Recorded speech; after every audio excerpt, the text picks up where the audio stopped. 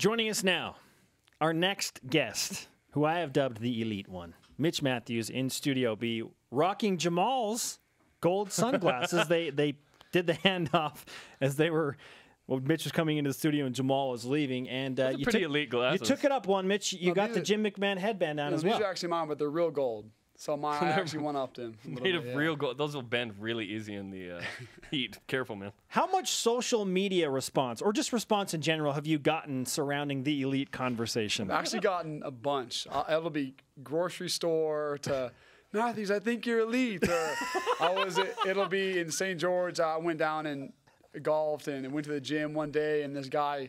He passed me and gave me a funny look. Then he turned around and came back and yelled it in front of the whole gym. Mathews, you are elite. So I'll get. It'll be. It'll be weekly for sure, and that doesn't end. Oh, it doesn't okay. end. And no, no one's gonna come up to you and say, "Dude, you're not elite, bro." Yeah, so then maybe they're lying to me. I don't know what it is. Yeah. Maybe they're lying. Yeah, but- no one's gonna do that.